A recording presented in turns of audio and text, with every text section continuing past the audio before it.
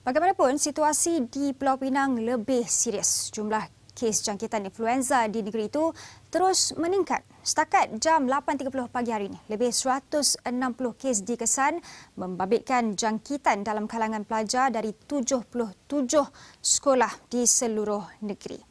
Seterusnya daripada jumlah itu, sekolah di daerah seberang Perai Utara mencatatkan kes terbanyak iaitu 50 kes di 17 sekolah. Ini diikuti daerah Timur Laut dengan 41 kes yang membabitkan 26 sekolah. Seterusnya, di seberang Perai Selatan pula 30 kes dicatatkan di 10 buah sekolah. Sementara seberang Perai Tengah mempunyai kes yang kira-kira sama menjejaskan 6 sekolah di daerah itu.